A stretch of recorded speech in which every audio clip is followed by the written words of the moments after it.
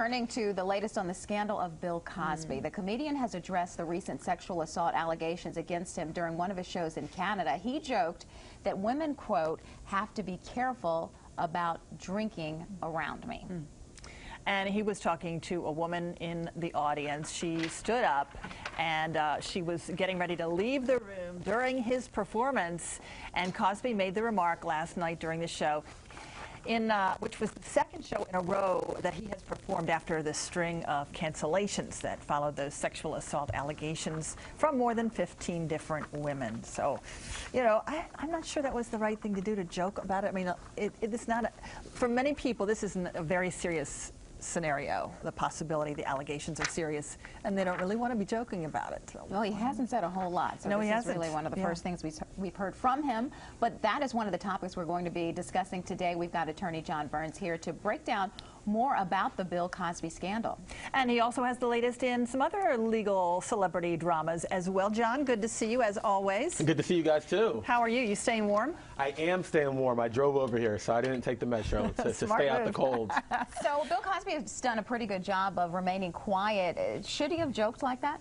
I don't think so. I think Melanie brought up a good point. I think it's very, very sensitive, and that's a very sensitive topic. And I think he's done a good job of staying quiet. But you don't want to come out when you're on, you have these different shows and make statements like that because people could definitely construe those the wrong way. Making light of it. Yeah, yeah very true. Yeah, and I think it's inappropriate. And while we're talking about that, uh, uh, Phylicia Rashad, his former co-star on The Cosby Show, recently came out with, uh, with her take on all the charges against Cosby. Uh, talk a little about that. Yeah, absolutely. So she came on the media, actually did a one-on-one interview with ABC, and she said that um, she feels that there's been a declaration of guilt, especially in the media, with respect to her, her on husband, I mean on TV husband, for um, you know a number of different things. She said that these allegations have been un unsubstantiated, and she said that there's just been no proof or evidence besides what we've seen in the media. And she's very, I mean, to some degree, she's right. There's been no criminal prosecution, and for a large degree, it's just been allegations in the media.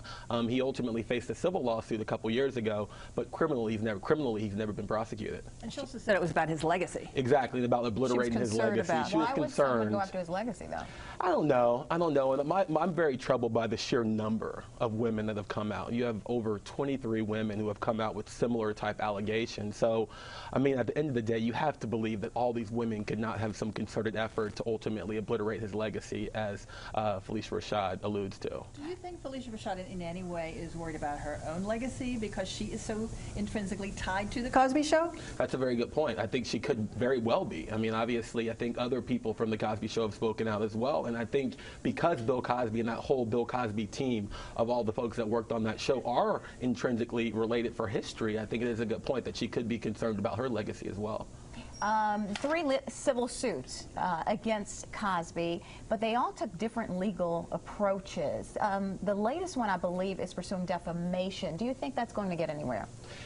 I, I don't know. It's really tough. Defamation is a very, very tough uh, suit to prove. I think some of the other ones, ultimately one settled out a few years back, and that was um, a suit that was brought, brought upon sexual allegations in terms of sexual assault and things of that sort. Those are stronger claims, but we have to remember here, so much time has passed between when these incidents allegedly occurred until the present day, so it's very difficult in terms of finding credible evidence.